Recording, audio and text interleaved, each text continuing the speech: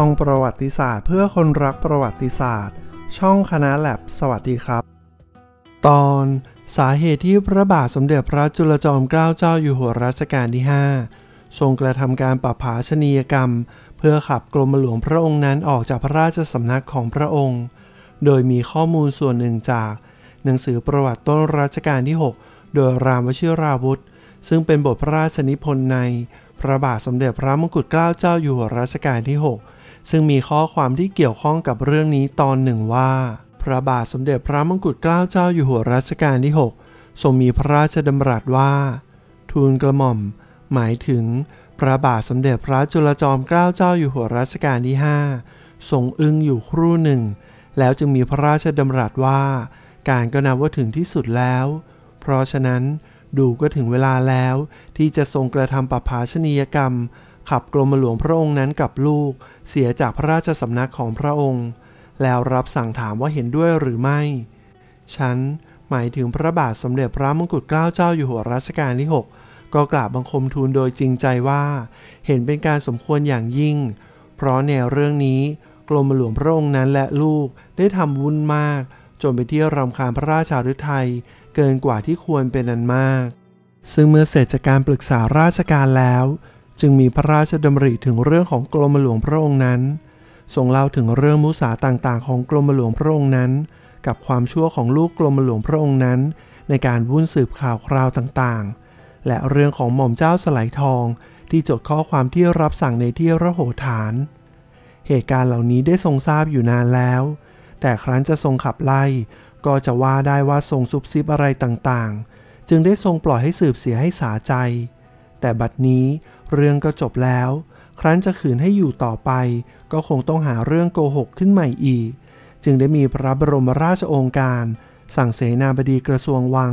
และสมุหาราชองครักษ์ห้ามกรมหลวงพระองค์นั้นมีให้เข้าเฝ้าในที่ระโหฐาน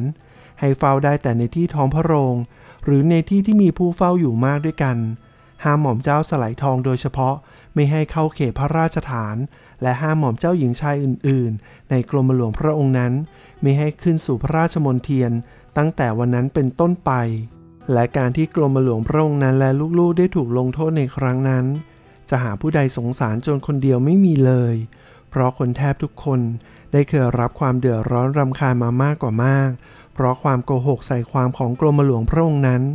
ทั้งพากันชังความจางไรต่างๆ ที่กรมหลวงพระองค์นั้นได้เคยประพฤติมาแล้วเป็นนานับประการ สมควรอย่างยิ่งที่จะถูกกริ้ว และตัดทางที่จะก่อความรำคาญต่อไปอีก ซึ่งความชั่วต่างๆ ของกรมหลวงพระองค์นั้น ถ้าแม้จะนำมาจดลงไว้แม้แต่โดยย่อๆ ก็จะต้องการสมุดเล่มหนึ่งต่างหากทีเดียว ยกตัวอย่างเป็นบางข้อ เช่น เมื่อยังรับราชการในตำแหน่งข้าหลวงต่างพระองค์ อยู่ที่เมืองหนองคายนั้น ได้เชิญเอากงสุลฝรั่งเศสไปกินอาหารกลางวัน แล้วแต่งคนไปยิงช้างที่กงสุลขี่ที่กลางทาง และมีใบบอกเท็จเข้ามาว่าจับผู้ร้ายไม่ได้ ครั้งนั้นเกือบเกิดความใหญ่โตทีเดียว และคราวหนึ่งโดยความอิจฉาแรงกล้า และพยายามวางยาประทุษร้ายกรมหลวงเทววงศ์แต่กรมหลวงท่านไม่เอาความ เพราะเกรงจะเกิดชำระกันเป็นเอกเริก เสื่อมเสียพระเกียรติยศราชตระกูล และยังมีการทอดบาทสนเท ด่าเสด็จแม่ ซึ่งหมายถึง สมเด็จพระนางเจ้าสาวภาผ่องศรี พระบรมราชินีนาถ พระบรมราชชนนีพันปีหลวงโดยถ้อยคำที่หยาบคายที่สุด แต่หาหลักฐานได้ไม่มั่นพอ ต้องระงับเรื่อง และเมื่อครั้งที่พระเจ้าหลวง หมายถึงพระบาทสมเด็จพระจุลจอมเกล้าเจ้าอยู่หัวรัชกาลที่ 5 จะเสด็จยุโรปครั้งที่สองก็เที่ยวคุยอวดกับใครๆว่า พระเจ้าหลวงทรงชวนไปเป็นเพื่อน เราเป็นกิจจาลักษณะว่า รับสั่งว่าเวลาหนุ่มๆเขาไปเที่ยวกัน จะได้ทรงมีเพื่อนคุยที่รุ่นราวคราวเดียวกัน แท้จริง เข้าไปกราบพระบาททูลวิงวอนขอตามเสด็จ โดยอ้างว่าถ้าไม่ได้ไปจะถูกคนเขาเย้ยหยันว่า ไม่ได้โปรดจริงอย่างเช่นที่โอ้อวด พระเจ้าหลวงทรงรำคาญจึงทรงอนุญาตให้ตามเสด็จ และในระหว่างเวลาไปยุโรป ได้ไปทำสกปรกต่างๆ มาก และที่จันไรที่สุดคือได้ถ่ายปัสสาวะลงในแก้วน้ำเสวย ซึ่งทำให้พระเจ้าหลวงกลิ้วมากจะส่งกลับ แต่ไปร้องไห้อ้อนวอนขอกรมราชบุรีให้ช่วยทูลขอโทษ จึงรอดตัวไปครั้งหนึ่ง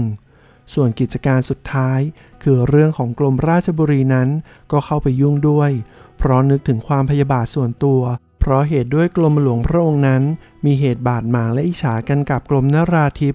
ว่าด้วยเรื่องแย่งลูกเขยกัน